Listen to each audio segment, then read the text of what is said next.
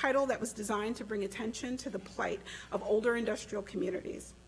Across our district here in Philadelphia and state of Pennsylvania, New Jersey, and Delaware, and in communities across the nation, too many older industrial communities continue to experience economic challenges from higher poverty and unemployment rates to dramatic infrastructure crises. These communities have unique histories and economic trajectories that may shape their future economic opportunities. And while the issues impacting older industrial communities continue to be at the center of our work, this year we made a strategic decision to change the conference title to Reinventing Our Communities. So it's a small word change, but for us it means a lot. The word our better reflects some of the core considerations and beliefs we have about our community development work at the Federal Reserve Bank of Philadelphia and the significance, really the centrality of economic inclusion to that work.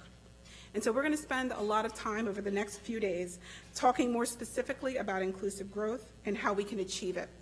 But for us, it really starts with inclusive growth and the fact that it reflects a joint ownership of both the challenges and the solutions that will build long-term sustainable local and regional economies. But I want to reassure all of our friends, uh, new and old, uh, please know that this is a change of name and not a complete change of focus. We will continue to address, uh, but this is a broad array of work that we'll be doing under this heading, Reinvent Communities. So the subtitle for this year's conference is Transform Our Economies. And this is a word that we battled over uh, a little as we were developing conference theme. We knew that we wanted to frame a conference that focused on solutions rather than a statement of old problem that focused on the future, the past. We also wanted a lot more, we wanted to, and bring greater focus to the economy as both input to and an outcome of the conditions that exist in low and moderate income communities. We landed on the word transformative because it draws our attention to the things that need to change in order for people and communities to add access to greater economic opportunity. By its very definition, transformation means to change. If we don't begin to do things differently, design communities differently, connect education to work differently, engage residents differently, we can only expect to have the same results that we've had in years past. Those communities that did not have access to resources in the past will continue to lack those resources unless we begin to do th some things differently. So you'll hear me and other moderators throughout the conference asking just that question. What needs to change in order to provide more people with access to economic opportunity? We make progress by asking ourselves hard questions and by not settling for easy solutions. So I hope you'll join me in this exercise over the next few days. Ask the hard questions engage in the difficult discussions, challenge some of the common assumptions, and most importantly, we ask you to share what you know. Before moving into our first plenary, I want to recognize the many partners who have been so critical to both shaping the content of the conference and promoting it uh, to our network, to their networks. First and foremost, uh, I'd like to acknowledge the, the very dedicated work of our system colleagues, the Federal Reserve Banks of Atlanta, Boston, Cleveland, New York, Richmond, and St. Louis. And I also want to welcome our, our newest partner to this uh, rock family, uh, the Federal Reserve Bank of Minneapolis. Uh, I want to strongly encourage those of you who haven't, if you're visiting from a, a, another place in the country and you have not connected with your Federal Reserve Bank, um, I encourage you and those of you who know your banks to please um, really connect with these offices uh, and uh, take the time to visit fedcommunities.org. It is a portal that enables you to really uh, uh, connect with all of the research that's being done across the country by the Federal Reserve System on these key issues of community development. Um, I also want to thank our partners, Penn IUR. Um, Penn's Institute for Urban Research has been our research partner, I believe, for all seven of these reinventing conferences. Uh, together, we have produced uh, four books, uh, and we are working on a collection of essays for this conference. And so Susan Wachter and her team have been important, important partners and colleagues as we've moved forward on uh, this conference and other endeavors.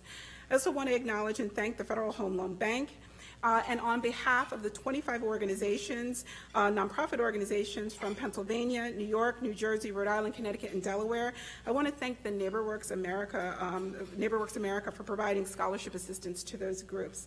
Um, without the scholarship assistance, uh, their participation would not have been possible. So we really want to thank NeighborWorks for their support there. Uh, there are a number of other conference supporters, and you'll see their logos in the back of the conference pa uh, packet. Um, many of these organizations are in attendance, and uh, again, without their help, we would not have been able to spread the word about the conference as effectively as we have, and we may not have uh, gotten some of you here today, so I appreciate that. Uh, and lastly, I want to thank Meg 8 Consulting and Karen Black who has been a partner to us um, from the conference design um, through the development and implementation. Uh, Karen has worked very closely with Erin Mierzwa, our lead on this, uh, and they've done a tremendous job pulling together what I think is a fantastic agenda for the next couple of days. Um, so I need to do a little housekeeping, um, and uh, this is always the, the hard part, telling you what I need from you, but I I have no shame, I'm going to ask. Um, the first thing, uh, if you haven't already, I encourage you to please download the conference app. Uh, the guidebook um, tool is a very handy and effective way for you not only to know what's going on at the conference, but also to connect to your fellow conference participants. So please, uh, if you haven't downloaded, you have a smartphone, if you need some assistance, there's a table out there, they will assist you. Um, please um, take advantage of this resource. The second housekeeping task is, is, is maybe one of the most important. Um, I think I mentioned earlier the planning for this conference started the day after the 2014 conference, and it begins with a thorough reading of every evaluation that comes through. Um, it comes back from our participants. I read them. Uh, no matter how horrible your handwriting, no matter how small your complaint, uh, I read them. And the conference is not finished for me until I have taken in that feedback. So I encourage you, I implore you, I beg you, please take the time to provide us with that feedback. Tell us what we should be focusing on. Tell us what issues are impacting your community. Tell us what you'd like to learn more about in the future. We really do read these evaluations. This year you have two options. If you've downloaded the app, you can do the evaluation very quickly on the app um, on, on, a daily basis, and you also have paper copies of the, uh, the uh, evaluation in your packet. So please um, provide us with that feedback. And then lastly, um, we ask you to join the conversation uh, through Twitter. Uh, if you uh, use Twitter, uh, and, and, we encourage you to please uh, tweet and connect this conversation that we're having here with your networks out in the field, uh, and please tweet using the hashtag reinvent2016.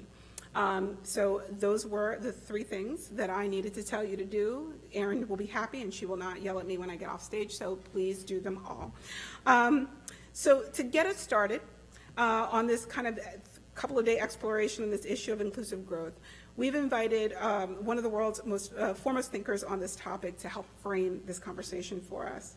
Um, after we hear from Xav Briggs. We're going to be joined by um, some a panel of experts to highlight the various perspectives on the tools that we need to build a more inclusive community. Um, but as I said, first we will hear a keynote address from Xav de Souza Briggs. Uh, Xav is the Vice President for Economic Opportunity and Markets for the Ford Foundation. Uh, he leads the foundation's work of promoting economic fairness, advancing sustainable development, and building just and inclusive cities here in the United States, Latin America, Africa, Asia, and the Middle East. Uh, Xav is also a professor of sociology and urban planning um, at MIT. And I have to say, uh, on a personal level, um, this is a person who has blended scholarship and public service in a way that has been a real inspiration to me um, throughout my career. And I know it's been an invaluable resource to uh, a host of you in the room. So I hope you will join me in welcoming Xav Briggs.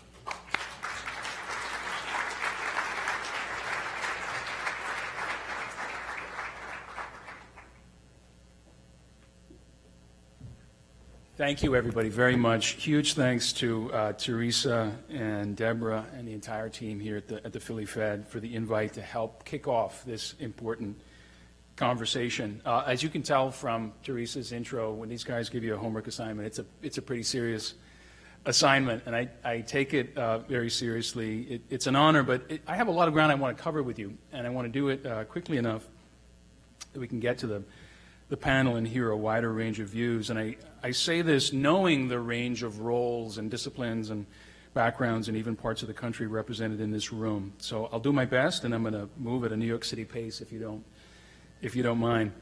Um, you know, we at the Ford Foundation, like other funders and a number of global institutions, um, have shifted and sharpened our focus over the last several years to a focus on what I'm going to describe as the imperative of inclusive economic growth. It's certainly not that we've forgotten about poverty. Um, it is not in any way that we're ignoring inequality. We see this as one of the keys to responding to uh, extreme inequality here in America and other parts of the world. But I want to talk about that focus on inclusive economic growth. I want to start with the question of, of why it matters, um, since a, a, part of my job is, is, again, to serve as sort of a conversation starter for the conference as a whole. Um, you know, in the U.S. and in, in many advanced economies uh, around the world, the state of economic growth is not pretty. There is a lot to be thankful for and excited about. There is a lot that is quite strong. You saw the recent census news uh, about wage increases in this country at last, and one of the biggest drops in poverty, at least in a single year, um, that we've seen in, in 50 years. It's not that uh, there aren't wonderful things happening. But in the macro, um, in a bunch of the advanced economies, we have the combination of slow growth and high inequality. Slow growth and high inequality, so not, not a pretty picture. And of course, inequality sharply up um, over the last generation plus. There's also a growing evidence base, though, as you know. I'm not going to recount it here because my guess is this room is quite familiar with it. That inequality, especially when it grows to be as extreme as it is in our country, that it undermines economic growth. We hear that from the, uh, the OECD, and Ford has helped to fund some of that work, um, looking at inclusive economic growth and the relationship between measures of inclusion and measures of productivity and other drivers of growth. Uh, we hear it from the International Monetary Fund, which for many years was the uh, spokesperson for a, a, a, very different, or the, the, central mechanism for a very different conception of, of how you grow focused on, on deregulation, on shrinking the public sector, um, and more. The IMF and the IMF director saying strongly, inclusion is actually vital to growth. Equity and growth uh, go together, and they need to go together. It's not just a moral imperative in democratic societies, it's a practical imperative. There is a business case for inclusion. There's an implication to that, too, and that is that inequality affects us all, not just the highly disadvantaged. And that helps to change the conversation or so we believe. We believe it can help to change the conversation, in part because um, inequality becomes our collective problem. Inclusive economic growth become and transforming economies becomes everyone's project. It's crucial. It also makes it more complex, as you know. I'm going to talk about that in just a moment and give a couple of specific examples of things that I think are working. Um, but a focus on inclusive growth does, I think, a few things. First of all, it focuses us on the fundamentals and getting them right. Uh, and I, yes, I am talking about things like infrastructure and human capital and access to, um, to growth capital in particular for communities that have not traditionally uh, been well represented in the entrepreneurial class in this country. Um, and in generating and owning wealth. I mean communities of color, but I also mean uh, communities left behind because of changing technologies, changing industries. So places left behind, not just groups of people of one background or another. Um, and in doing this, in engaging a much wider group of stakeholders, it does something that the traditional, let's say, anti-poverty conversation or even economic revitalization conversation often did not do. So if growth is more robust and more sustainable when it is inclusive, if inclusion is a key to growth, in other words, access to productivity, to innovation, to entrepreneurial capital, to skills, lifelong, to strategies for using the capital and the skills, that matters too, and adequate social protections, things that help you deal with life's ups and downs, safety net is what we often call it, uh, buying power that exists widely across the economy, not just with a narrow few. If all that is true, and there are mountains of evidence that it is, then a starting point for inclusive economic growth is that the basic rules and capacities in the economy matter. And that has an implication for government as well. I'm not just saying this because we're on the eve of another big election, but it's not lost on me or you that everything we're talking about here at this conference is, in a sense, on the ballot this November and in, in future elections at all levels, not just uh, the federal level. It's not just about the White House and Congress, obviously, but state and local races as well. How we understand the economy and how it's changing, and how you really generate uh, shared prosperity or an economy that works for everybody. One of the things that implies is that government cannot just chase after the symptoms. It has to be a part of changing the rules of the game of the economy itself. Let me give you a quick example, and this issue is familiar to many in this room. Take housing affordability. It's very clear um, that the country's most economically successful regions, I'm going to use region for the moment to mean metropolitan regions, though you can certainly expand on that. Its most economically successful regions are also its most unaffordable, and there's no accident.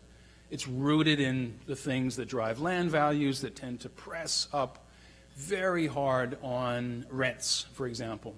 It's one reason that rents um, particularly on the bottom of the economy, outpace uh, wage growth and outpace uh, the, the, level of wages, as I say, for the, for the lowest rungs of this economy. So that's a problem that's concentrated to a great degree and not by accident in the nation's most successfully, uh, excuse me, most economically innovative and successful areas. Um, we have a structural affordability problem. Now, talking that through and talking about how to solve it could take the entire afternoon, I mean to use this example just very, very briefly to say one approach to this is to say we're going to do our thing at the local level and give Washington the bill. We've got housing assistance programs. If rents are unaffordable, we should expand them. And that's not a crazy idea, but you've been watching the Washington movie just as I have been, and I was a part of it not too long ago. And that's a hard conversation in Washington to say, let the federal government spend much more to make up for things that are driven uh, by certain important local decisions, land use policy, uh, commitments to affordable housing, all sorts of things that require real local commitment the federal government cannot handle on its own. I say that just to say we have a choice, and that is uh, are we going to chase the symptoms of inequality, or are we going to do something serious about the underlying causes, the drivers of inequality? including the features of our economy that, uh, that make this such an unequal country. So we can treat this as a wake up call. Before the recession, this country, against any benchmark, including the other advanced economies, was and still is a remarkable innovator. You know that as well as I do. It's one of the things we are known for. Our R&D, our universities, our commercialization of technologies, the innovation clusters, the famous regions, not just Silicon Valley, but others. Yes, we were a remarkable innovator, but also a prolific creator of bad jobs. Let's be honest. That's the economy we had. Now, after the recession, we see labor markets tightening. My friend Harry Holzer will be on the panel in a moment. He can tell you far, far better than I can that those labor markets, the qualities of the labor markets, are key to some of the wage gains we've seen but so too are policy measures um, in red states and blue states, by the way, to raise the minimum wage and to address things like the difference between the main minimum wage and the tipped wage uh, that restaurant workers get. So, still, too many people and places uh, left behind. And a real question before us will we treat this as a wake up call and change the way the economy is wired as a part of making inclusive growth, inclusive economic growth possible? So, how do we make that happen if that's important? And even if, by the way, we agree to disagree on some of the details of it, if that's the conversation we want to have with each other, if it's important for all communities across the country and people of every background, how would we actually do it? Well, I think you can start with some of the knowns, some of the broad prescriptions. You need things like equitable infrastructure, infrastructure that's modern and robust and resilient. It's physical, it's also digital, um, but also equitable access. That means connectivity to, to poor communities, for example. I'll give you a couple of quick examples in, in just a moment. Yes, it means access to skill development, things like alternative credentialing, different ways of showing what you're good at, taking passports or credentials throughout your career. It can't just mean traditional degrees at every level. Um, we see innovation in those areas, and that's very important. it can't just mean jobs. As you know, it has to mean quality jobs. It has to get to the quality of work. Um, and that's true, by the way, even if we're talking about non traditional employment or, or, work that's contingent. It's based on, on contracts um, with suppliers rather than steady, multi year, lifelong relationships with particular employers. And yes, it has to mean growth capital as well. So those are broad prescriptions, none of them crazy, ton of evidence on each of them. I don't have to tell you. Infrastructure, skill development, growth capital, absolutely. But those are very, very broad. What, what more? What else matters? Uh, well, first of all, I think it's significant that there's space for new conversations, for bolder reform, for transformation um, at the state level, at the local level, um, and possibly at the federal as well. And all of that depends on elections, but, but a whole lot more. Not just elections, but that thing they call governing, which is supposed to follow elections. For example, room for different conversations. Would you have predicted two, three years ago that trade agreements and the impacts of trade on American workers would be front and center in the way they have been over the past year? Maybe you would have, but not, not everyone would have predicted that. The trade agreements. How should a new generation of trade agreements be constructed? How do you create more of a race to the top around the world, labor standards, environmental standards, and so on, rather than a race to the bottom? Raising the wage floor, again, was just not in the conversation Arguably, there was very little room to have that conversation over the last generation. Um, talk of raising the minimum wage was often dismissed out of hand as, uh, as threatening many millions of jobs, threatening to remove the on ramps for people, um, particularly the disadvantaged or those at the outset of their career. The conventional wisdom on that has shifted. Still have a long way to go, but we've seen again in uh, red states as well as blue states action to raise the minimum wage, and also to address this century long disparity between uh, the, the, required minimum and the so called tipped minimum wage, which, by the way, originates in slavery and the years after slavery when employers did not want to pay their former slaves. They wanted customers through their tips to pay them. That is a wrong that we still have to right in this country. Trade agreements, the wage floor the safety net. Around the world, they call it social protection. If you want to talk to our friends in the developing world, or in Europe, or Australia, or Canada, they call it social protection. It's what we've usually called the safety net. Catching up and adding things like paid leave that every other advanced economy has, that's a piece of it, but so is reinventing the way benefits work for a changing economy, creating more portable benefits uh, that, that move with you, regardless of what region you're in regardless of who you work for, regardless of whether you're a contractor or in a regular employment relationship. There's room to have those conversations now. It is urgent that you all be a part of them. It is urgent that we have people from multiple perspectives saying, this matters. This matters for inclusion and therefore for growth. We're not going to have a strong and robust economy that works for everybody unless we address some of these things. I'll point you to just a, a couple things. Sorry, it's a, it's a hazard of a, uh, of, a, of a recovering professor or a professor on leave. If you missed Dani Rodrik's uh, op ed last weekend in the New York Times about how we have to fundamentally rethink trade and globalization and how we can do it in a reasonable way, I commend that to your attention. Last weekend, New York Times, Dani Rodrik, or Joe Stiglitz's work, uh, work that we at Ford funded, uh, MacArthur and others also supported it, on rewriting the rules of the American economy, rewriting uh, some of these rules that we've taken for granted over the past 30 or 40 years. But here's the thing I am all too aware that there's still too few roadmaps for local communities that are working to find their way, to enhance competitiveness, to grow what they export, to create on ramps as they do those things.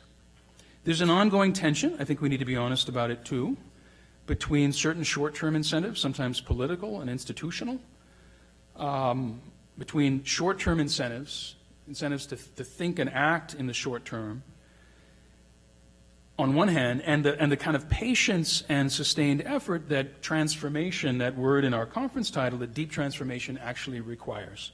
In other words, there's a misfit between how we've done a lot of economic development traditionally, um, including chasing companies, including the so called attraction game, and on the other hand, doing the transformation that can take uh, years, and in some cases, yes, generations. I learned a lot about this in Pittsburgh, among other places. About a decade ago, I was working on a book called Democracy as Problem Solving. and devoted a lot of it to economic restructuring. So a lot of it was about older communities and, and reinvention. And the idea was to create an opportunity for regions like Pittsburgh to learn with and exchange with counterparts in Brazil or the UK or Italy or other, other parts of the world, not just to think about America. And Pittsburgh, to make a long story very, very short, yes, had false starts after the collapse of Big Steel and, and mixed signals about where the economy was going, but also all sorts of, of green shoots and unexpected vitality. So I give you an example of this to say this is the kind of thing we need to better understand about changing economies and how to find our way at the local level if we can get federal and state government also to, to play their part. One of the stories I loved about Pittsburgh, one of the things that the, the Pittsburghers taught me, the people who really understood the economy there and have been working to develop it, was how steel producers had, had gone away. The economics of that industry had changed in a fundamental way, and it led to, as you know, a massive loss of, of good jobs, traditionally unionized jobs. But hidden in plain sight, if you will, there were many steel suppliers who had grown up around those producers over many, many years. And now they were flying out all over the world. They were going to the steel producers wherever they were India, South America, Africa, other parts of the world. And that steel supplier industry, in other words, an important part of the old economy evolving and transforming itself and becoming a part of the new, was still providing a huge share of regional wages and regional uh, uh, product, if you will, of economic growth. That's the sort of thing that was hidden in the traditional ways of looking at industry and having these very either or sort of simplistic uh, conversations about a new knowledge economy and an old manufacturing economy. It missed entirely um, the fact that parts of the old were being reborn in the new. There are a couple of other things I want to hit on briefly as I wrap up here and we bring up the panel. Um, number one, it worries me that we have a narrative about the innovation economy in this country that is still almost oblivious to inclusion. You may or may not agree with me, but I feel strongly about this. It is almost oblivious to inclusion. I'm saying that as an MIT professor on leave. I'm saying that as a, as a graduate of Stanford Engineering. I'm saying that as someone who is uh, grateful for the many things that these innovation clusters uh, provide this country and provide the world. They have not done their job on inclusion, and they've been largely blind to it. Um, it's literally not on the screen, no pun intended, uh, how we think about the innovation economy. And in fact, innovation in a number of ways and the way we let the innovation economy function is compounding inequality between people and places rather than reducing it. So there are a number of systems we need to tackle. As you know, education and workforce, sector development, community economic development as knitting neighborhoods to the, to the larger drivers of regional change. Infrastructure planning and finance is a huge one. Let me give a, a couple of quick examples of some hopeful things. We need, a, we need a, a division of labor that makes sense. I think when it comes to basic rules and economic security, a number of them are most efficient and they're most universal and they're most reliable if the federal or state government or some combination of those two uh, takes care of them. That's certainly true of the safety net. With some exceptions, you just do not want a nation of thousands of little safety net sandboxes where the rules are, are, are really different one from the other. It just doesn't make sense. We need recipes for inclusive innovation, for growing productivity in ways that include the on-ramps. Um, for too many people left left behind. And here are a couple of really quick examples of, of, things that make me hopeful. The Ford Foundation, about a decade ago, wanted to address the, the, issue of vacant properties and abandoned buildings. And one of the things we worked on with many, many partners, uh, too many for me to, to, to thank and, and call out right now, is the fact that in older communities in particular, we had land use statutes and systems for uh, clearing and assembling land that, as many folks in this room know very well, were simply outdated. Um, in too many cases, they were obsolete. They needed fundamental reform. Now, lots of things have made a difference, and the, the, full story would take more time than I have, but land bank authorities and much more have been a part of it. And I want to call out partners like the Center for Community Progress and many, many in the public sector and university life and so on that have been a part of updating our thinking and our systems in ways that are really crucial for these next steps we need to take. Transportation equity is another biggie. And I want to call to your attention uh, efforts like Mile High Connects in Denver. Simply amazing, really bold, really holistic, thinking about the range of things that people need to get to, the things they need, the transit system and all the connections in transit. the fundamental rethinking of mobility, which is upon us whether we like it or not, uh, thanks to technology and other things. Or the Twin Cities, which is using racial equity as a success marker for judging its public transit and other major public investments. Traditionally, state of good repair, trip times, there's a whole vocabulary. If you're an infrastructure uh, person, you know this. If you're a transportation engineer uh, or have worked in this field, you know this. But racial equity, um, equitable access to those big systems uh, that rely on public investment. Medellin, Colombia, and I'll wrap uh, with this example. Medellin, Colombia, after years of violence, so much of it driven by narco trafficking, of course, and the awful civil war, which seems to be uh, about at last come, to come to an end um, if the peace process is fully successful. After so much violence, after being a kind of um, iconic example of a violent, ungovernable city, Medellin, Colombia has bounced back in an amazing way. It's an incredible place to visit and learn from. It has focused its biggest infrastructure investments, its most powerful upgrades on its poorest neighborhoods for all the reasons I've been talking about. You see it in transportation linkages, you see it in state of the art community libraries. The very finest and best and most digitally connected are being, being put in the poorest neighborhoods. It's extremely impressive. You see it in efforts like the New Economy Initiative in Detroit, which also we've been privileged to be a part of uh, as a foundation working not just with Main Street mom and pops, but with growth companies, and working very hard at racial inclusion as they do it. And you see it in economic planning as well, um, including older regions and, and newer ones. In conclusion, inclusive economic growth is urgent. We see the signs that it is doable. It is an all in proposition. Uh, we see elements of the playbook, not a complete one by any stretch, let alone a formula. But we see it in efforts to address disparities and to know that doing so is vital to creating an economy that actually works for everybody, that is ultimately uh, for the benefit of a very broad cross section of stakeholders, of constituents, and yes, of voters. It is not just about the highly disadvantaged. And it means agreeing that these problems uh, are worth solving and that this is a public narrative, too, that we can use, that we can educate the media uh, to use when it comes to understanding the economy and what it will mean to make it work for everyone. I hope these ideas, I hope these quick examples are helpful to you. I'm excited about the conversations you'll have over the next couple of days in which you can help us to learn. Thank you so much.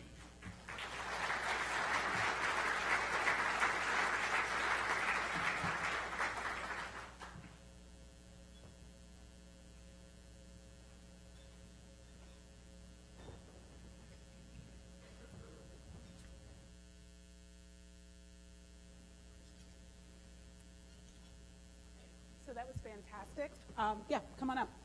Um, we're going to be joined uh, by uh, the members of our panel, and while they're getting up here, I want to thank you once again, Xav. That was fantastic. Um, you do take your homework seriously, so obviously um, you, you, you are uh, our favorite student today, so thank you. Um, we are being joined on the stage by some leading experts in a number of fields, and so uh, the bios are in your packets. I'm just very quickly going to do a round of introductions.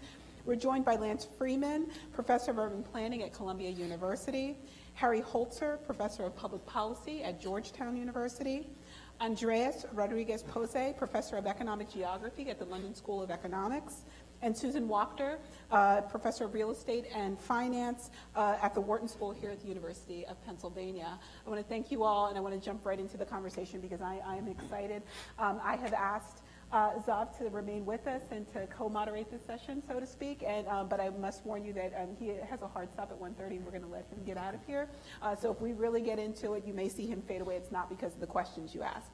Um, I am also going to let you know that we are going to. I'm going to do a first round of questions, and then I'm going to uh, um, ask you if you all have any questions that you want um, to ask of our panel. And I encourage you um, start thinking of those questions now because I'm sure you have a lot. Um, uh, that you want to start talking about. Um, as I said earlier, this whole notion of research-informed practice and infusing research into the conference is, is, is critical to um, our department and, and, other departments across the system. We have been working with Penn IUR to develop a series of papers that really dig into these topics. So each of the panelists you see here are contributing an essay uh, to a collection that we intend to submit uh, for a Cityscape article, uh, Cityscape uh, um, issue uh, in 2017. Um, so uh, I'm going to do a first round of questions, and I'm going to encourage our panelists uh, to take a few minutes and really dig into these issues um, to provide our, our, attendees with some, some sense of what those uh, discussions are like in your papers. Uh, you can find a summary of the papers in your conference packets, and if you have the app, you also can access the full drafts of those papers. So um, you do have those, those, resources in front of you. Uh, I'm going to jump in and pose the first question to Susan. And I'm going to start with uh, you know, talking a little bit about the economic restructuring that Xav uh, referenced in his comments. Um, and these are economic shifts that we are all familiar with, this movement of people and, and, jobs out of older industrial places. And what's really happened is that there's been a changing landscape of economic uh, opportunity. Um, and, and also the point that Xav made so accurately in his comments around uh, the fact that most of the, the most innovative places are often the most unaffordable. Susan, I want to ask you to talk a little bit about how job location and housing uh, access intersect uh, to either create or prevent economic prosperity for specific communities. Theresa, the um, points that you have made and Xav earlier are so important because this is not a temporary shift in opportunity and inequality. This is a, a long-term shift. Uh, and place-based disparity that is now clearly evident is, is growing. And the question is why? Why this long-term shift to place-based disparity. And I think that we'll hear more from other panelists, but this is newly the age of innovation and newly the age of cities where innovation is occurring. Cities are incubators of growth. And cities with this advantage of, inc of incubating growth and productivity uh, are, are dense, and unaffordable. And the regions they are part of, the growing regions with jobs, are dense, and the rent is just too damn high, as are housing costs in general. But this is a challenge that's so apparent that perhaps we're not aware of how new it is. In fact, for over 100 years in the United States, population flowed reliably from low income areas to high income areas. Why is this? Because there was affordable housing in high income areas. And this opportunity then to move where the jobs are, because the rents weren't too damn high, because the rents were affordable, led to long term convergence of regional incomes in the United States. But this convergence has been replaced by a new divergence, place based divergence. And this divergence is accompanied, as I and due to the increase in rents and housing costs, and it is clearly shown up in the big numbers of mobility. Uh, physical mobility, and we are known for it. We'll hear from Andres in a moment about European uh, e economies, perhaps, but in the U.S., we're known for mobility, job mobility, physical mobility, which was in 1950 and for decades 20 percent.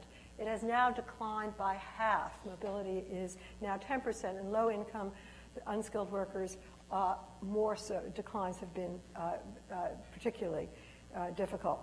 And this decrease in mobility is occurring in the context of overall stagnation of income, with median income, median income in 2015 the same as it was in 1999. So, what's the good news?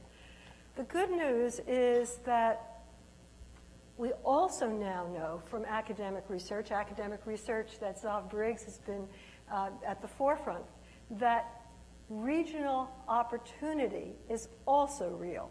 That is, much of the difference in intergenerational mobility, what I'm speaking about here, in the work of Raj Chetty as, as well as others, uh, much of the intergenerational mobility is not due to characteristics of people and their families, but due to characteristics of the places where they grew, where the children grew up. So this long-term impact of where children grow up in terms of education, in terms of income segregation, in terms of racial segregation, these factors are critical for intergenerational mobility, and we now know this.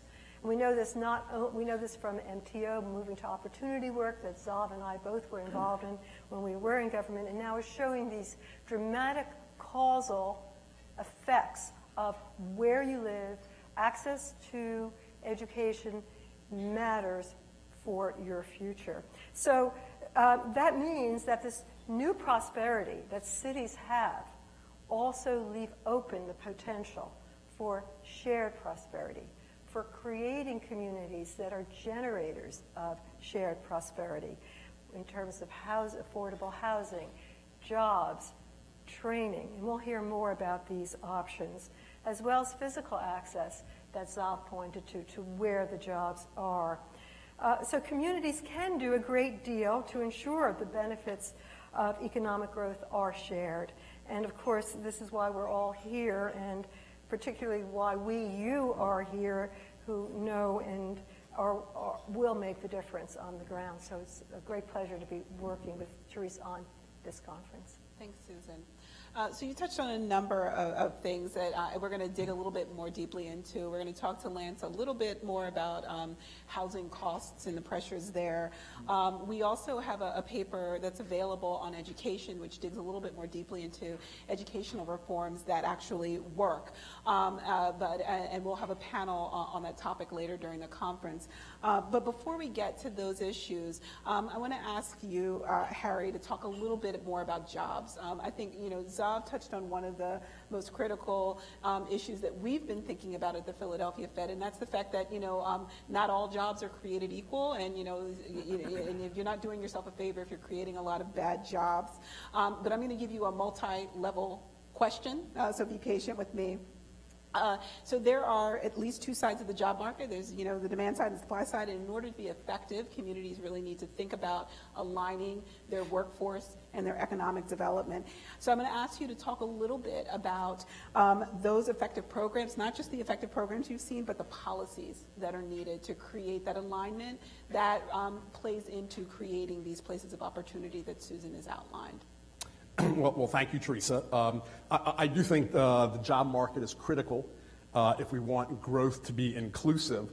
Why do I think that? Well, I'm a labor economist, right? So obviously, I think my stuff is going to be central. Uh, but but there's a stronger argument, and the stronger argument is that it's it's through the labor market, it's through earnings that that inclusive growth is going to be experienced. So, getting this right, getting the demand side right and the supply side right and, and the links between them, I think are really critical. So I'm going to say a little bit about each of them. And the demand side in the labor market is employers and the jobs they create, the quantity and quality of the jobs they create. The supply side is the workers and whatever skills they do or do not bring to, to those jobs. And then the issue of access, especially in, in our large metro areas, uh, and, and especially for our minority citizens, are, our disadvantaged folks uh, living in neighborhoods that are somewhat isolated uh, and have difficulty accessing good schools, good jobs, et cetera. Uh, so I want to say something about each of those things. And I think each of them requires some thinking and some strategy. So on the demand side of the labor market, you say, okay, are, are, are there good jobs out there that employers are having trouble filling? The answer is generally yes. Um, and, and there's a set of sectors that are high demand, high growth, good paying jobs below the level of a BA, and employers have difficulty filling them. Uh, and we know what those sectors are. They're the same in every region. It's healthcare, advanced manufacturing, IT, transportation logistics, high end of retail, high end of hospitality, and, and, and a few others. Um, and, and there's, in each of those particular skills employers seek that they have trouble filling, they're going to have even more trouble when the baby boomers retire, which makes a lot of them very nervous right now. Uh, but those are areas where the strong demand that right now we can try to target skills to meet. But I think we need more than that. I think we need to move beyond just that set of sectors. Um, and one way to think about that and think about economic development, uh, broadly speaking, or very generally speaking, think of two strategies for firms uh, that are in competitive markets. Uh, and we call those high road or low road in terms of human resource practices. You can compete on the basis of the lowest possible labor cost you can get. And that means you're willing to live with high turnover and shoddy work and things like that. Or you can beat on the basis of the high skills of your workers, their higher productivity and the higher quality of work they do and, the lower turnover. Uh, and those are choices that firms make. And, and historically, for decades, we've known firms can choose to be in one or the other or somewhere in between. And even they often compete against each other. You know, you might think of, and, and you know, what are the well-known firms? You know, UPS, Southwest Airlines, Costco, uh, well known for, for investing in those high road strategies. And, and over many years, Costco actually competes with a firm that we often think of as a low road firm, Walmart, which actually is making a big effort now to sort of move to higher road.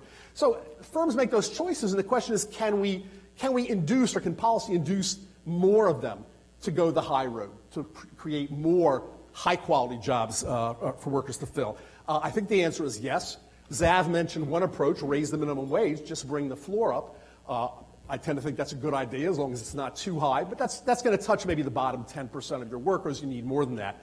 I think governments can play a role through financial incentives, through technical assistance, through preferences in, in, in, contracting and procurement, and even through the bully pulpit and convening opportunities to push that idea. And interesting, if you want to see an area that's doing this, the, in Chicago, the Chicago uh, Civic Alliance is running a big project to encourage high road economic development. And of course, this is very different than traditional economic development, right, where, you, where one state tries to bid away each other's employers. That's a lose lose strategy for everybody.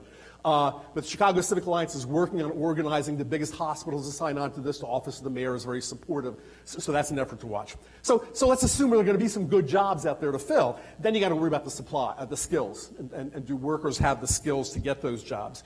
Uh, and, and, there's a lot we can say about skills uh, and a lot of K through 12 stuff that other people in the room know more than me. We talk about sort of higher ed, especially community colleges, where we expect people often to be educated and trained for these technical jobs, good paying sub BA jobs. We send a lot of people to community college in America, millions of people, often with Pell Grants and other supports.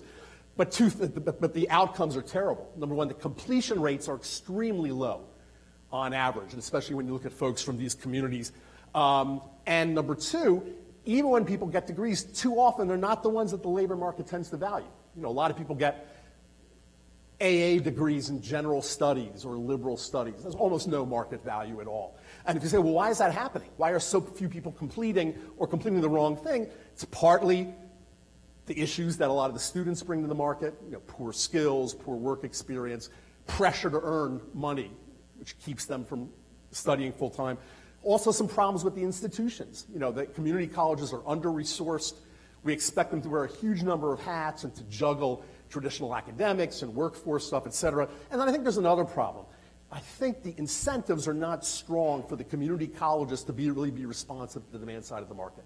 They get the same subsidies per student for seat time, whether people finish or not, no matter what they study. And in fact, a lot of the high demand stuff on the technical side is actually more expensive for them, right? Equipment, costs are high, salary costs are high. Under the current funding structure, it's simply irrational for them to, to invest a lot in teaching capacity. So those incentives have to change. So, so I think what has to happen is we want to inject more resources into the community colleges, you know, well targeted on these workforce activities and, and supports for poor students. But we have to change the incentives and create accountability. And a lot of states are moving in that direction already. But I would like the accountability to be not just based on educational outcomes, also on employment outcomes and earnings of their students. And not just the earnings of all students, but especially the earnings of, of minority students and disadvantaged folks from disadvantaged backgrounds. And I think if they have resources and much stronger accountability based on the outcomes, they'll work a lot harder to expand that capacity and provide the services. And, and, and, and there's a whole range of things we do. We, we know we can do reforming developmental education, reform, reforming financial aid, a whole set of services, career counseling, tutoring, that could be effective, and expanding these workforce-based programs, the sector-based training programs, you know, the partnerships between the employers and the community colleges, the career pathway models, the high-quality career and tech ed starting in high school, not old-fashioned voc ed, high-quality career and tech ed, like career academies, uh, even work-based learning and, and, apprenticeships. There's wonderful examples out there uh, of all of these models being done. Uh, if you want to look at the federal level, there's a program called HPOG, that the Department of HHS has been pushing, health professionals opportunity grants. You want to look at a state-driven model, Kentucky Fame, heavy on apprenticeship, heavy on orienting towards manufacturing employers. If you want to see a more local model, Quest, Project Quest in San Antonio, based on partnerships between the community college uh, and, and, local employers. A regional example, Wisconsin Regional Training Partnership uh, in Milwaukee. And there's many, many others, some of which have been rigorously evaluated. Those models work. Scaling them up is tricky, but, but I think that's the goal, uh, and, and, that's where we would go. Then finally, just a word about access. Uh, and, you know, we know so many folks uh, live in isolated communities, segregated communities, segregated by race, by income. And there's a huge literature on this, and, and Xav has written vastly more on how do you move people to the better neighborhoods or, or how do you bring jobs to those communities. I want to do something sort of simpler. How do you guarantee that folks in those isolated neighborhoods have access to good schools and good jobs no, no matter where they're located in the metro area? Um, you know, there, there's good charter schools that are being pulled away from strictly a neighborhood focus. There's community colleges, there's other training providers, there's good employers. How do you make sure that folks in those communities have access? A couple things need to, they need. Number one, of course, they need information.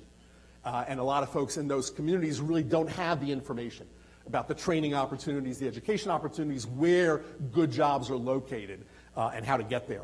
Secondly, of course, there's a set of services that are very important transportation, childcare that goes along with, with the information. And finally, I, this is a tall order for a lot of folks to do on their own. So I think intermediaries play a very important role here. Intermediaries who can connect the workers, the community colleges, and the employers, but who can bring the employee to the employer and make the case for why, for why they're a good investment. Um, and, and I think all those pieces together you start to make, uh, make progress on the access side. And, and, and, and it's a lot of stuff to worry about, a lot of stuff to focus on. But if you can make at least some progress on all three of those big dimensions demand, supply, and access uh, I think we can make some progress in this area. That's great. Uh, Harry, if we have a chance, I do want to go back and talk a little bit about regionalism and collaboration because I think that that's, um, while most of our conversation is really focusing on the local level and, and working on uh, thinking about what cities and communities can do on their own, I think this whole notion of regionalism and finding uh, effective examples at the regional level will be very instructive for us as we continue our conversation. I'm going to um, move over to Andreas uh, because uh, uh, Andreas has probably traveled the furthest to join us here, and, and we're very grateful to have have you, um, we would want it to bring you all some international examples of what's working around the world in, in terms of inclusive growth. Um, and, um, you know, Xav made the point in his opening uh, keynote that government matters. Um, and your work uh, Andreas, really looks to the local level and saying that, that, that's where government not only works, but maybe it even works best. Um, so I really want to ask you um, to talk a little bit more about why local uh, level activity is um, the best place to make uh, decisions. And I want you to reflect on um, how local capacity uh, may impact a community's ability to pursue inclusive growth and what do we need to do to build community capacity uh, in that regard. Right. Thank you very much, Theresa. Well, I think uh, when uh, Xav Briggs uh, did the introduction, he described it very well. We are in a period in which what we have is uncertain growth. Some places are growing fast, some places are growing less. But what we have, and that's becoming universal, is increasing inequality. Um, uh, places are becoming more unequal, and this is at the level of nations, but also within regions, within cities, and within our communities. And uh, one thing that one is not connected to the other. So the more you excel in terms of economic growth, is not necessarily that you're going to reduce inequality. Sometimes it's, in, it's, linked to increase inequality. In the case of the US, for example, when we look at cities that pursue excellence in innovation, the Austins, the San Diegos, the Seattles, uh, Charlotte, for example, they are not cities that are particularly good at reducing poverty or addressing raising the wages and the level of employment of those at the bottom of the pyramid. So that's one big challenge. But the other change that we have seen and has been a bit of notice is that before, for those that could not find jobs, that did not have the level of qualifications to compete in more open markets, the solutions used to come from the central government or the national government. Um, central governments, national governments, federal governments have become the world over much less active than they were before in this. Probably they are wary that they have failed far too many times. But this has also come with a situation where a lot of local authorities at state level, at local level, even within community level, have become empowered. And have become empowered through two, two mechanisms. One's through formal devolution. Many countries have given more powers, have decentralized more powers to uh, cities, for example. But also through the fact that they have realized that they are alone. That if they don't take action, no one is going to take action for them. So they need to take the bull by the horns and find solutions. So this empowerment is being applied in very uneven ways. Some places across the world, some communities, and in very different ways within countries, some communities are actually doing things, others are very, very passive. But those that are doing things are changing. Not that they are all successful, but they're doing uh, things. And this is not any more about generating more welfare. This is not about greater cohesion. It's about tapping on the resources that you find across every territory and every community and to, trying to make the most of it. It's about generating wealth. But because it is the communities that are trying to generate this wealth for themselves, is not any sort of wealth, not any sort of jobs. The jobs have to be durable, they have to be sustainable, they have to be what the ILO was calling until very recently decent jobs.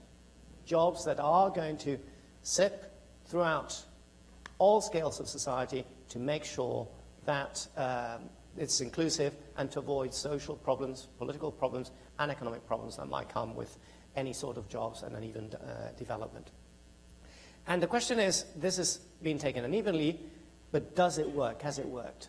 And that's where we still don't know. Sometimes it's very recent, and of course, when we take a look at the literature, many academics like myself, we like success stories, so we tend to look at the places that have worked. We always look at the same examples. The problem is that beyond those examples, there are a lot of cases we know nothing about.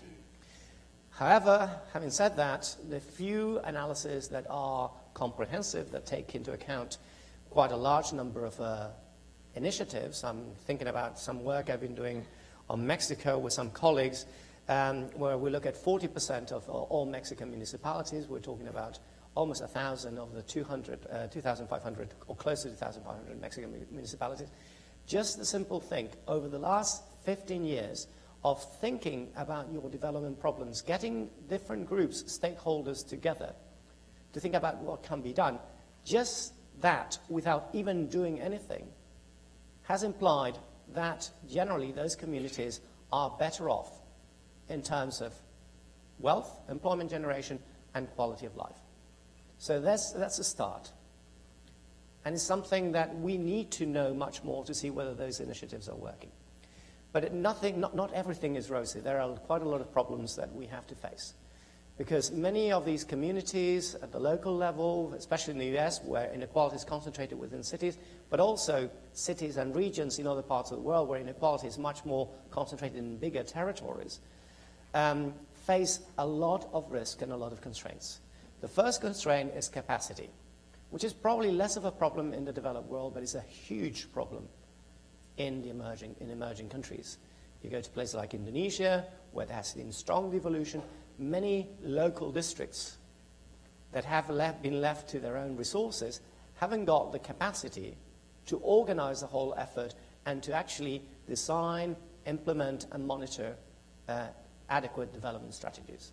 A second one, which is much more common across the, the globe, and is, I think you can see it every day in the US as we see it in Europe, is the whole problem of coordination. And there are two types of coordination problems. The first one is the vertical coordination problem across different tiers of government the community level, the city level, the regional level or state level, and the federal level or central level. In which what we have is that very often um, there's a poor definition of who does what. And very often, different tiers of government want to do the sort of things they think are going to get the biggest returns and avoid altogether the more difficult sort of actions that generally benefit those that can be considered to be at the bottom of the pyramid. The problem is that when that happens, and that happens more often than we think, we end up, in some cases, with an oversupply of public goods and services.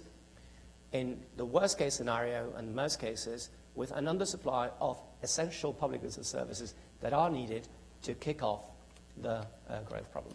The second type of coordination problem is the horizontal coordination across similar jurisdictions, different, different types of communities. What we have is a lot of beggar neighbor, um, uh, territorial competition sort of problems that very often are not growth enhancing. They are, in the best case scenario, zero sum, or they are uh, pure waste, as I would call them.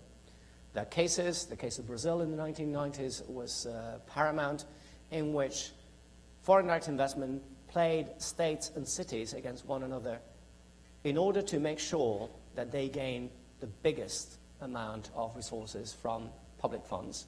So they funded, or local localities, states funded completely their own uh, factories at virtually no cost for the multinational company, and the gain on aggregate for the country and even for the state was zero or actually negative because it detracted, it was a huge opportunity cost. Money that would have been used, better used for, let's say, training and education, job generation, uh, infrastructure development, was wasted in subsidizing investment that would have gone, in any case, not just to that country, but to that state that was bidding for it. And then the third problem is the institutional problem, which is linked to quality of government. Poor institutions are a big issue in terms of allowing this uh, capacity to generate more inclusive, more sustainable sort of development. Uh, we're seeing this in Europe. In Europe, have, we have gone over the last three decades through great targeted efforts in the less developed areas of Europe, and some of them are really uh, poor in comparison to the core, to generate better infrastructure, more uh, skills, and greater levels of innovation. In some cases, those investments have been successful. But in very, many other cases, and we've seen it across Greece, southern Italy, Romania, for example, the barrier is poor institutions, poor quality of government. Through three mechanisms, mainly corruption, uh, lack of transparency and accountability by governments, and poor government effectiveness. I'm going to give you some examples. Um, there has been an elite capture of rents. The poorer the quality of government in across European regions and cities, the greater the likelihood that these regions and cities are going to go in terms of infrastructure for prestige uh, glitzy infrastructure.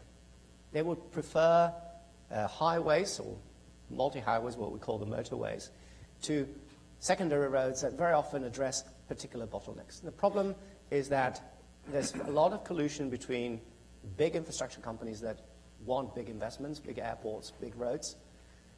The local elites, so it's elite capture of rents. But the returns for those communities in terms of employment generation, in terms of wealth generation, and sustainability have been very limited, if not outright negative. Those communities, those regions and cities that have better quality of government, even in less developed areas, very often have gone for a mix of infrastructure investment with highways but also secondary roads, and they have performed much, much better. It's also the case in terms of employment generation. When we, you make the analysis about what determines employment generation not at the high end, so the highly skilled, which is whether you are in a more educated, you have better universities, you have more firms. In the case of the poorest communities, is nothing related to that. The biggest barrier is poor institutions, and within poor institutions is high levels of corruption. So whatever you do in order to increase their skills is always going to face this glass ceiling that corrupt governments are going to make labor markets, continue to make labor markets less transparent and prevent those at the bottom from getting uh, jobs. So what we see is that we have a situation in which there are a lot of opportunities. And there's a lot of greater conscience at the level of communities, cities, and regions that they need to find their own solutions. And this is positive. But unless we, and when I say we, is um, central governments provide help in overcoming the local barriers that I mentioned, the low capacity, the coordination problems, and uh, also the institutional problems at the local levels, many of these efforts are going to be wasted. If we manage to overcome those problems, the likelihood that local initiative is going to generate greater employment, but more sustainable employment, and employment that generates greater innovation and economic growth over the long period are going to increase, and that should be the way we should go. So thanks for that, uh, Andres. Know, that, that's a perfect point. I want to transition over to, to Lance. And you made the point in your comments that uh, economic growth does not necessarily translate into lower inequality. You opened up with that. Um, but economic growth can also really uh, intensify um, uh, the tensions in our housing markets. And I think that that leads us um, to Lance's area of expertise. And, and so I want Lance, I want you to talk to us a little bit about the policy and programmatic levers that are available at the local level specifically.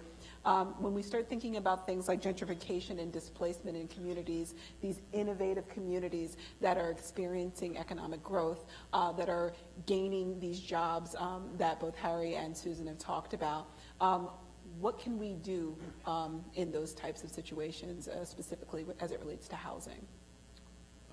Sure. Um, thanks for inviting me to, to, participate in this panel. I think this is a, a very important topic that we're up here uh, discussing.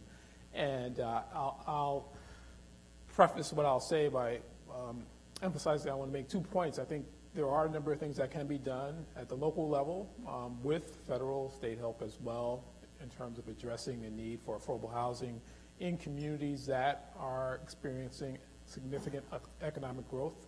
Um, I also, though, would, want to add at the end that I think if we're talking about inclusive communities, that um, oftentimes it takes more than just thinking about affordable housing and, and how to keep housing affordable. So to return to the first point in terms of what are some levers or what are some mechanisms that we can think about, um, I think you know there are a number of programs that are available for affordable housing. Many of you in the room probably work with them or are familiar with them. Um, there are some that I think are particularly well suited for places that are experiencing economic growth, right? Because um, there are some housing programs, for example, such as the housing voucher program, that doesn't necessarily translate into helping people move to places that are growing uh, economically.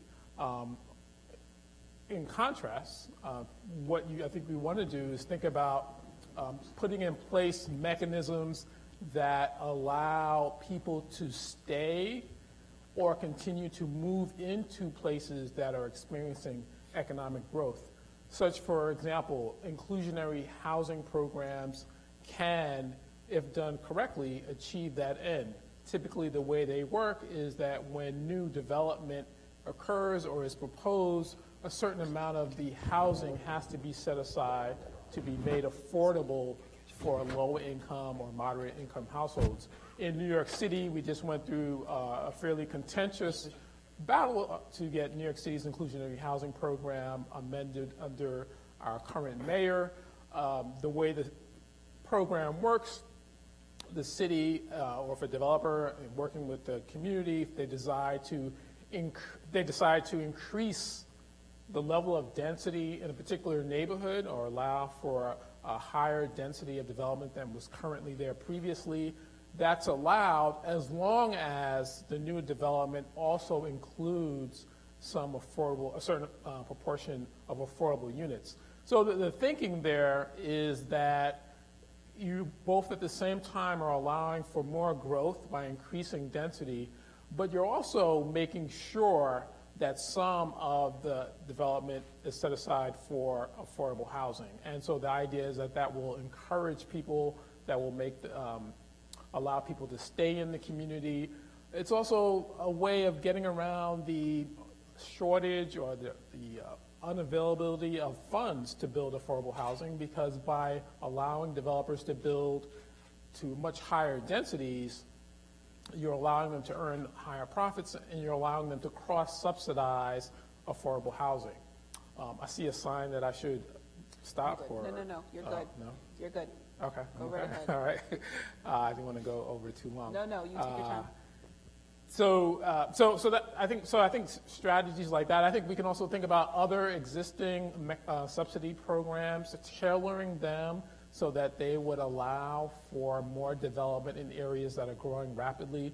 For example, the low-income housing tax credit program has long um, given developers incentives to build affordable housing in difficult to develop areas or in areas that have relatively poor. And I think there's much, you know, good arguments can be made for building affordable housing in those areas. But you could also make an argument that maybe additional incentives need to be put in place so that those credits could be developed more easily in more expensive areas. And with the recent release of the affirmatively furthering fair housing um, guidelines last year, I think we're recognizing that there is a need to be able to develop affordable housing, not only in areas that are, are uh, currently more affluent, but in areas that are changing and will perhaps over time become more affluent. I think in the past, much of our affordable housing policy has been designed in a way that it tends to uh, reconcentrate or uh, almost cement low income and moderate income households into neighborhoods that are relatively poor. And I think what we want to do is put in place policies and mechanisms that allow people to remain in place. And so the idea essentially is, is relatively straightforward, is to target subsidies to those spaces or places that are experiencing rapid economic growth. The second point I wanted to make, though, I think in terms of thinking about an inclusive community, I think that that's important, and I think it's very, um, very necessary that we put in place those mechanisms. But I'm not sure that that alone will result in um, necessarily result in an inclusive community, and I say that for at least two reasons. I think, first of all, as many of the panelists have alluded to, um, we need an on ramp, or we need mechanisms to develop the human capital of people living in these communities um, in some ways, it's easier to redevelop or revitalize places as opposed to people, right? And I think we want to be careful in not getting confused with ec- the economic growth of a place versus what's happening to the people who are already living there. And I think if we want economic growth that benefits people, we need to marry the affordable housing initiatives with initiatives such as those mentioned by some of my colleagues on the panel that will develop their human capital, that will develop education and the like. The hard truth, though, is that it's, it's difficult to redevelop, to develop people's human capital, and it takes time. In some ways, it's much easier to go into a place, and if you're successful, to turn it around, attract new investment.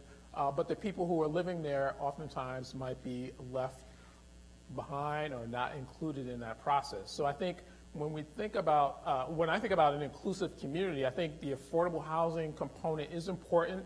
In many of these places, I, am in New York City, and I've seen how many neighborhoods have transformed and went from um, abandonment, disinvestment to now centers of hipsterdom or whatever you would like to call it, um, and along with that, very expensive housing.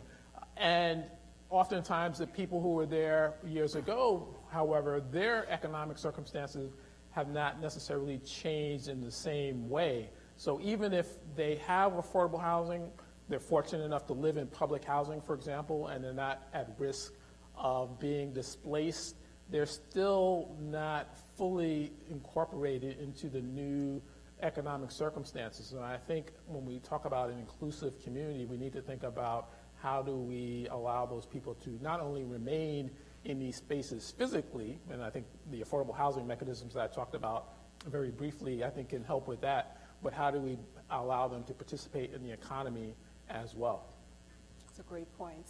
Um, so, and thank you for ending. I think the, the two points you made about intentionality, uh, that we need to be intentional about these things, and we need to think about the, the connections between the people and the place. Um, so we're going to pause there. We have a couple of minutes um, to take some questions from the audience.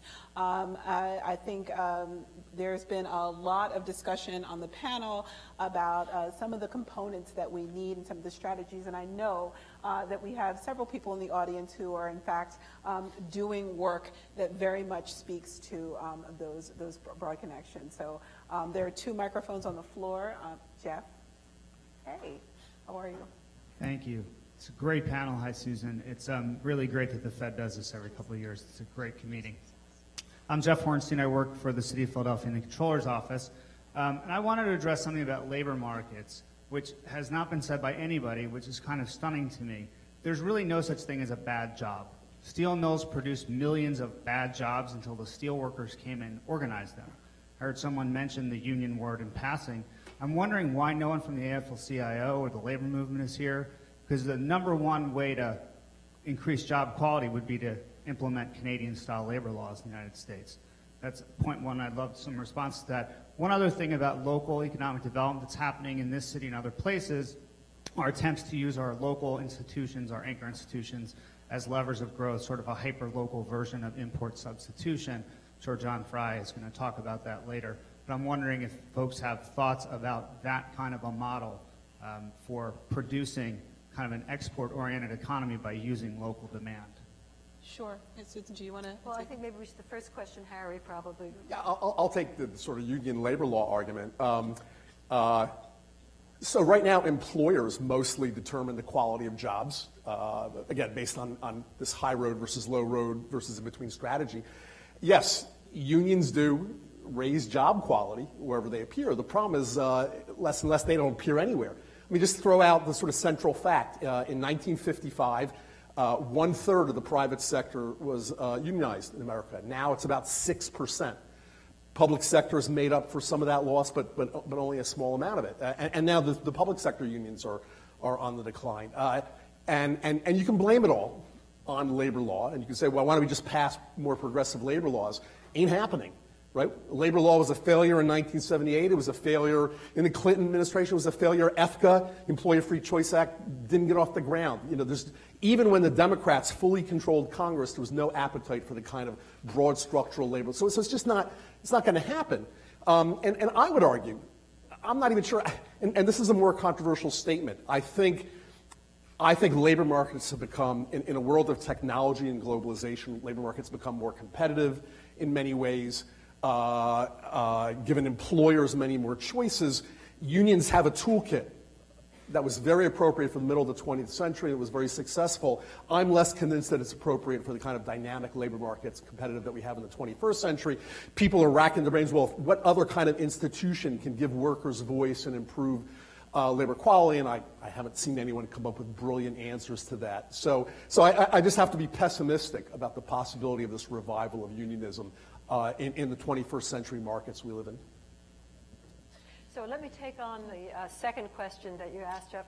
And this we can be very positive about. And we can be positive about uh, in cities in general. Cities are often where we have education facilities. Education is a prime export of the United States to the world at large. And it is a burgeoning sector. And in cities particularly, we often have uh, a concentration of higher education. And the knowledge creation that's occurring in, uh, in cities is often occurring in conjunction with educational institutions. The difficulty and the challenge and the next step is to integrate the growth of the knowledge economy with the growth of skilled workers who are not currently possessing the skills we need. So now we're back to the kind of suggestions that Harry Holzer and Andreas Rodriguez Pose have in their papers for regional cooperation that puts together private sector jobs with supply of skills from educational institutions at all levels. Uh, the uh, Drexels of the world, Philadelphia Community College of the world, and of course in your communities, the skill generators down to K through 12 and pre-K as well. Great, thank you. We have time for one more question. Right here. Can Hi, you... my name is Meredith Levy from Somerville Community Corporation. Um, I have a question, actually, it was similar to the last question um, about standards, actually. Unions in Boston area are still pretty strong, but that doesn't necessarily mean pe people have access to the unions. There are a lot of people who get cut out from that. And so I'm wondering, from federal or state governmental level, what kinds of standards um, we should be pushing for. Prevailing, you know, unions talk about prevailing wage, but are there other ways to take from the fair housing example of further affirming access? Could we do that for the labor market so that um, instead of being uh, blocked from getting people into these jobs, how do we make sure that employers are required to meet certain standards to improve the access to jobs, especially people of color, women, and by zip code. So Harry, I don't know if you want to take a, a shot at that question. And Andres, if there are examples that you have um, from Europe that would help inform uh, that, we'd, we'd love to hear your examples as well. So Harry? Um, so, there are a number of, of standards, depending on, on, how broadly you want to define them. The most obvious being the minimum wage, sort of the, the, the, basic wage standard. And look, I'm an economist. You know, I think pushing up the minimum wage too far is counterproductive. You know, and Xav earlier talked about how, how that debate has changed. I'm comfortable going up to 9 or 10. I'm really uncomfortable going up to 15. I think that will destroy large numbers of jobs for low-wage workers. So you can, you can raise standards. I think you have to do it carefully and, carefully and sensibly.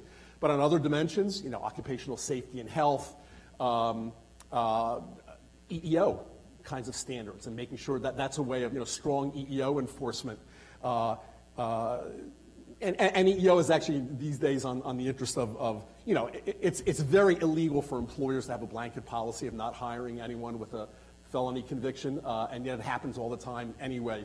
You know, that kind of EEO policy is important to me. But let me give you another example. People often talk about if, if, we have, if, we have a, if we have a major new investment in infrastructure the next few years, uh, which at least some presidential candidates are talking about, some folks say, well, why don't we have a, a, a, a require, you know, these requirements to hire X percentage either of low-income youth or minority youth or, or local. And that's also something which I'm broadly sympathetic to, but, but you, if, if it gets too restrictive, then you're, you're making it more costly and making it harder for the infrastructure projects to proceed. So, I, so I just think you have to think of what's the right balance between those competing needs. But, but I think those are at least some of the standards that, whether it's state or local or federal, uh, could be pushed, to, to me, at, at, a sort of moderate level. Well, if I, if I can intervene on this. Uh, in Europe, we have some of the highest standards you can imagine. So um, the sort of things that people in America would think are job destroying. So we have very high levels across the board of uh, minimum wages, high level of uh, social protection. I think it was the safety net that was mentioned by uh, Xav here, and uh, a lot of uh, long periods of redundancy pay. So in principle, uh, that would be something that is uh, linked to destroy, destroying jobs. And to a certain extent, that is not preventing companies in Europe from increasingly moving out of Europe, outsourcing, and setting up shop in places. Initially, it was Romania. Now that Romania is becoming more expensive, it's India, it's Bangladesh, etc., and it's trying mainly jobs for the low-skilled uh, at, the, at the bottom end. However, this is creating problems in certain parts of Europe. Uh, the textile sector in places like uh, Italy is being destroyed, with the exception of the high-end levels of the luxury goods. But in other cases, it hasn't been that. And the question is why? I'm going to put the example of Denmark. Denmark is uh, actually well known for biotechnology, is very well known for nanotechnology, but is also very well known for furniture production. And the question we're going to ask is why furniture production? In principle, a table is just a board and four legs. It can be done much easier in Indonesia at much lower cost than in Denmark, where you have the highest level of unionization in the world, uh, the highest salaries, and the highest level of social protection. But they have a system like in, and when I mention Germany, you can talk about Germany, uh, you can talk, uh, sorry, Denmark, you can talk about Germany, you can talk about Sweden. They have a system in which it combines quite a lot of things. It's the flexicurity system in which there is flexibility to hire and fire, but there's also a high level of security. But on top of that, there's a lot of vocational training and on-the-job training. People are being constantly trained. It's not that they work, they're being given the incentives to go up to the next level to make sure that their, skill, their skills do not become redundant. If you have any sort of job, and I said there might be bad jobs in this respect, that just provide jobs in the short term but no upgrading of skills. The skills that you gain when you go to school or university become, in a world where uh, um, technical and skill cycles become shorter and shorter, quickly redundant.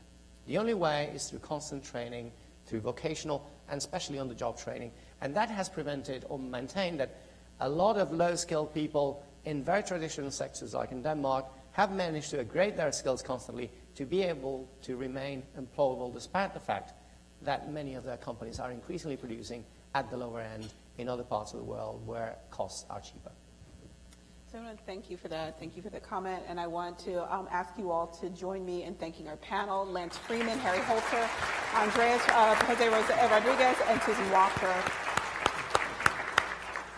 Um, we have uh, a short break uh, this afternoon before we go off uh, uh, to our concurrent sessions.